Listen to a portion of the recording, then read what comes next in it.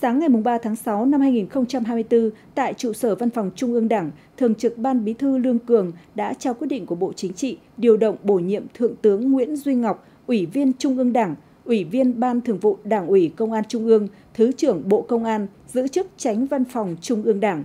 Ông Nguyễn Duy Ngọc sinh năm 1964, quê quán ở thị trấn Lương Bằng, huyện Kim Động, tỉnh Hưng Yên, là Ủy viên Trung ương Đảng khóa 13, trình độ chuyên môn thạc sĩ luật. Ông Ngọc có nhiều năm công tác ở Công an thành phố Hà Nội. Ông Nguyễn Duy Ngọc từng giữ các chức vụ trưởng Công an huyện Thanh Trì, trưởng phòng Cảnh sát Giao thông Đường bộ Đường sắt PC27 Công an thành phố Hà Nội, tránh văn phòng Cơ quan Cảnh sát điều tra PC44, phó giám đốc kiêm thủ trưởng Cơ quan điều tra Công an thành phố Hà Nội.